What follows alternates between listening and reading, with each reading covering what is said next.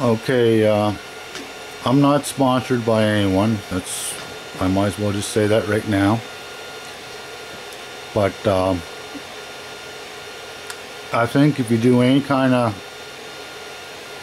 3D printing at all, you should think about getting one of these magnetic pads.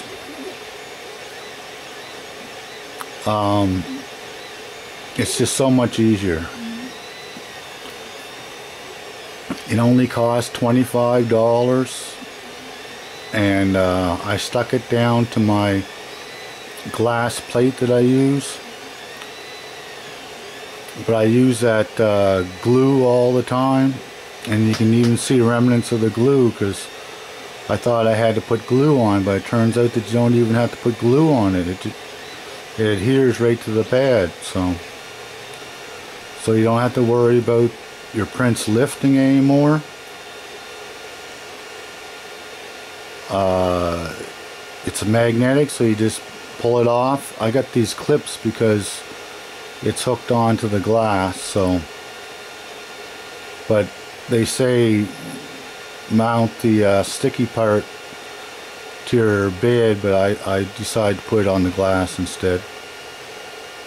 Just to keep it nice and flat but uh, you don't have to worry about your prints lifting off the bed anymore. And uh, it just pulls up and it's flexible and your prints pop right off.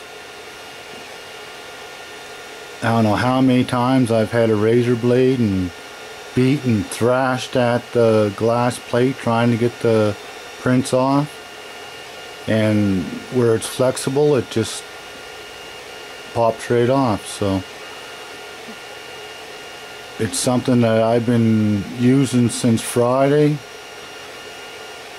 and uh, I'm very impressed with it. I think it's a great product. Like I say, for $25, you can't go wrong. That's all I'm going to say about that. Y'all have a good Sunday and cheers.